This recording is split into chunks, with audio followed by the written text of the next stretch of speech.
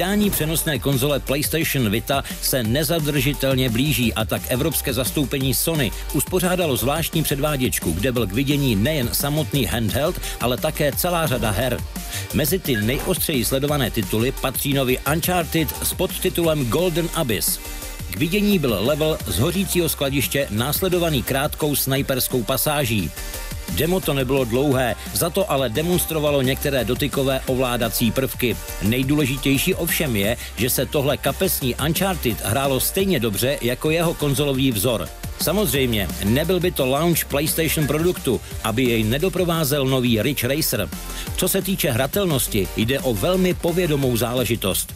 Arkádové smykování skrz pravouhle zatáčky je nedílnou součástí téhle závodní série a její poslední díl pro Vitu v tomhle ohledu rozhodně nesklamal. Nové analogové páčky navíc poskytují mnohem více kontroly nad vozidlem a grafika byla jedním slovem dechberoucí. Něco trochu jiného nabídla závodní hra z prostředí formulového šampionátu F1. Realistický jízdní model nám dal pěkně zabrat a to i s kompletně zapnutou asistencí. Hned naproti byl k vyzkoušení nový v pořadí už čtvrtý Virtua Tennis. Ten překvapil zejména svou grafikou. Hratelnost se navíc díky analogovým páčkám přiblížila ovládání na klasickém DualShocku.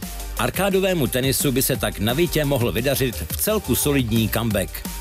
O něco podobného se pokouší i japonská ulítlost Katamari Damacy. Katamari bylo vždycky o nabalování všelijakého bordelu na speciální lepkovou kouli. A když hrouda dostatečně vzrostla, vesmírný král vás vpustil do další úrovně.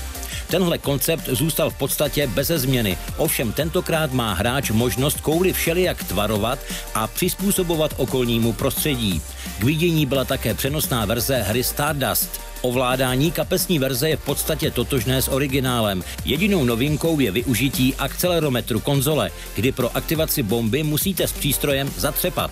Původní titul pro PlayStation 3 se hráči zamilovali díky dynamické grafice a intuitivnímu ovládání. Tyto základní hodnoty vývojáři zdá se zachovali a tak má tohle nové pokračování našlápnuto na pokoření svého předchůdce. Nejobletovanějším stojanem výstavy byla ovšem hra Resistance Burning Skies. Daniel Brook, producent hry, se s námi podělil o několik detailů. Burning Skies je první střílečkou z pohledu první osoby, která se na handheldu hraje tak, jak se střílečka hrát má, s dvěma analogovými páčkami. My jsme navrh přidali ještě celou řadu pohybových a dotykových ovládacích prvků, které využijete při vyklánění skrytu anebo při házení granátů. Už se stalo tradicí, že s každou novou Resistance hrou představíme několik nových zbraní. Stejné je to i s Burning Skies. Ve hře narazíte na staré známé, jako je naváděná puška Bullseye anebo klasická armádní karabina. Mimo to se vám ale dostane do ruky sekira anebo rotační kulomet. Další kousky ale zatím odhalit nemohu. Příběh hry je zasazen do roku 1951, to znamená do období mezi prvním a druhým Resistance.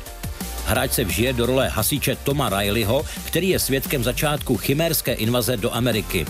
Resistance Burning Skies prozatím nemá stanovené datum vydání. Někdy během roku 2012 se ho ale určitě dočkáte. Krom tradičních her bylo k vidění několik titulů, které hardware konzole využívaly tak trochu jiným způsobem. Little Deviant je soubor miniher, které využívají pohybové, dotykové a především kamerové schopnosti handheldu. Akce na obrazovce se tak neodehrává v renderovaném virtuálním prostředí, nýbrž ve skutečném světě.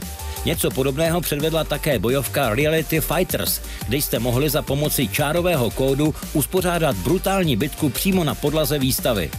Krom toho se hra pochlubila komplexním editorem postav a širokou škálou chvatů. K vidění byla také nejnovější hra studia Zipper Interactive, které má na svědomí sérii Socom. Unit 13 sice nenese jméno svého taktického předchůdce, ovšem v jádru jde o velmi podobnou hru. Tahle akční střílečka z pohledu třetí osoby se se dvěma analogovými páčkami hrála moc pěkně. Ovšem už z krátké ukázky ve skladišti bylo patrné, že Unit 13 nebude vyloženě o taktice, ale spíše o bezstarostné arkádové jízdě. Dalším velkým Sony titulem je Wipeout 2048, který prezentoval vedoucí projektu ze studia Liverpool Graham Ankers.